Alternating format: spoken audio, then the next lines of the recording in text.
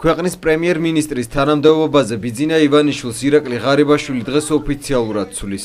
ივანიშვილმა ამ პოსტზე 1 წელი და 1 თვე იმუშავა. ის პარლამენტმა 2012 წლის 25 ოქტომბერს დაამტკიცა პრემიერის თანამდებობაზე, რაც დაძაბული წინა საარჩევნო კამპანიის შემდეგ 2012 წლის არჩევნებში ივანიშვილმა და მისმა კოალიციამ გაიმარჯვა.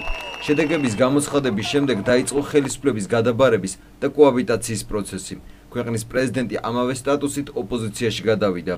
მე და ჩვენ ჩემმა გუნდმა მოვახერხეთ და შევქმნით პრეცედენტი საქართველოსში პირველად. დემოკრატიული გზით ხელისუფლების ხელისუფლების შეცვლისა საქართველოს თავრობის შემადგენლობას და სამთავრობო პროგრამას პარლამენტმა დობა გამოუცხადა. 2012 წლის 25 ოქტომბრიდან ივანიშვილის მთავრობა მუშაობას ოფიციალურად შეუდგა. ერთ-ერთი პირველი გადაწყვეტილება, რომელმაც ფართო საზოგადოების აზრთა სხვადასხვაობა გამოიწვია, მასშტაბური ამინისტიის გამოცხადება იყო, რომელიც 12000-მდე პატიმარს შეეხო. პოლიტპატიმრად და პოლიტიკურ დევნილად კი პარლამენტმა 190 პირი აღიარა.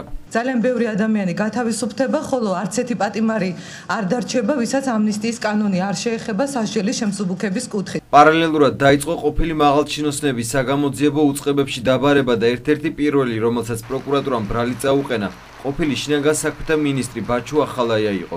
რამდენიმე თვის შემდეგ განსასჯელის სკამზე მოხვდა ყოფილი შინაგან საქმეთა მინისტრი და ექს-პრემიერი ვანო მერაბიშვილიც. სამართლებრივი დევნა სხვა ყოფილ მინისტრებზეც დაიწყო. მათ პროკურატურა კონკრეტულ სისხლის სამართლის დანაშაულში ზდებს ბრალს და სასამართლო პროცესები დღემდე მიმდინარეობს. თუმცა მთავრობას ხშირად საყვედურობდნენ, რომ სამართლიანობის აღდგენის პროცესი ნელი ტემპით მიმდინარეობს და საზოგადოების დაკვეთას არ შეესაბამება. ამ კონტექსტში მოიაზრება დღემდე გაუხსნელი რეზონანსული საქმეებიც, რომელთა გამოძიებაც ივანიშვილის კოალიციის ერთ-ერთი მთავარი დაპირება იყო. დღევანდელი ჩვენი პროკურატურა სუსტია, და გამოძიებლების და პროკურორის დაექვემდებარება ალბათ ზედმეტ შეკითხვას, მაგრამ მე თვითონ არ უშვებ და არ ვცდილობ და არ მინდა რომ მიეჩვინონ რომ ისე სემოდან ვიღაცამ უნდა გადაწყვეტოს. ხელისუფლების ყოფილი წარმომადგენლების გარდა სასამართლოში ივანიშვილის მთავრობის წევრთა საქმეებიც მოხდა. მათ შორის პირადი ცხოვრების ამსახველი ვიდეოების გავრცელების გამო შინაგან საქმეთა მინისტრის მოადგილის გელა ხვედელიძის საქმე. დავით კირვალიძის მინისტრობის კარიერა კი ეგრეთ წოდებული ტრაქტორების საქმეს შეეწირა. რაზედაც მისი უწყების რამდენიმე თანამშრომელი დააკავეს. მე განვაცხადე რომ ვიღებდი ამ საკითხზე პოლიტიკურ პასუხისგებლობას და დავტოვე თავრობა. ბიძინა ივანიშვილის პრემიერ-მინისტრობის პერიოდში მოხდა ფარული აუდიო და ვიდეო მასალების ნაწილის განადგურება, რომელიც პირადი ცხოვრების ამსახველი იყო და რაზედაც ამბობდნენ რომ ყოფილი მართველი გუნდი ამ ჩანაწერებს კონკრეტულ პირთა შანტაჟის მიზნით აკეთებდა. ივანიშვილის ოპონენტები ხშირად საყვედურობენ, რომ მისმა მთავრობამ დაპირებები არ შეასრულა. ერთ-ერთ ყველაზე სერიოზულ გარღვევად კი ეკონომიკურ მიმართულებას უთვლიან. მთავრობის კონკრეტული ეკონომიკური პროექტების მიუხედავად, ქვეყნის ეკონომიკურ მაჩვენებელზე დაგეგმილი პროგნოზი არ გამართლდა. ერთ-ერთ შეუსრულებელ დაპირებად უთვლიან ივანიშვილის მთავრობას იმასაც, რომ არ მოხდა კომუნალური ტარიფების მნიშვნელოვანი შემცირება და საწარმოების გახსნა. თუმცა თავად სამთავრობო გუნდი მნიშვნელოვან მონოპოლად მიიჩნევს იმას, რომ მათი მმართველობის პირობებში ბიზნესმენებზე ხელისუფლების წნეხი მოიხსნა. ეკონომიკა კი იმ ძიმე რეალობიდან გამომდინარე ვითარდება, რაც ახალმთავრობას მემკვიდრეობით ერგო. ციფრების შედარებით მართლაც გამოიკვეთება, რომ ეკონომიკური ვარდნა არსებობს, მაგრამ გარწმუნებთ, რომ აქ არავითარი ბრალეულობა ახალი ხელისუფლების არა ქვეყნის საგარეო პოლიტიკის მიმართულებით ბიძინა ივანიშვილმა ევროკავშირის წევრ ქვეყნებთან რამდენიმე შეხვედრა გამართა. ამერიკა კი კვლავ მთავარ პარტნიორად დარჩა. თუმცა პრემიერობის პერიოდში ის ვიზიტით შეერთებულ შტატებში არ ჩასულა. ერთ-ერთ მთავარ პრიორიტეტად ივანიშვილმა რუსეთთან ურთიერთობების დარეგულირებას დაასახელა და მიზნით სპეციალური წარმომადგენელიც დანიშნა.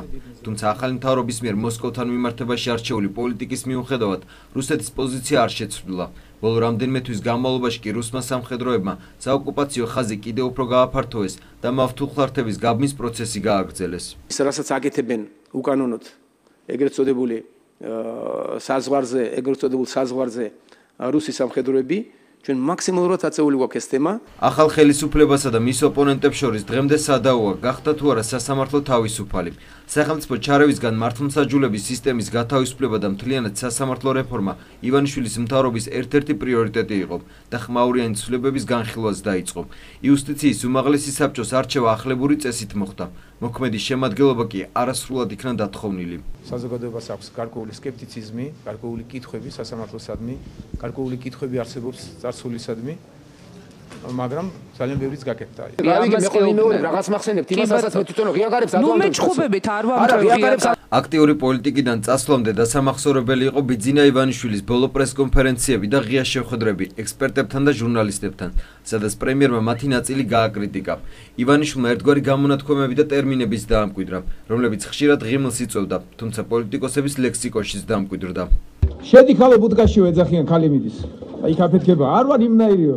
შედი ბუდკაშიო არ ვარ მე შედი აფეთქება რანაირიც კიდე ისეთი იყავი არ დაიღუპო უცხეს ინტელექტი და ფსიქიკა პირობითაც რა თქმა უნდა ზუსტად ამას ვერ შეაზარებ სხვადასხვა ადამიანში თუ ნახნახევარი 50% ხერხდებოდა ხელოვნურად ამის მიჩქვალმა მიჩქმალმა და მიჯირხუნა თავის დროზე. რატომ არის ხშირად ყველა ჩემ მიჯუყნა გადაწყვეტ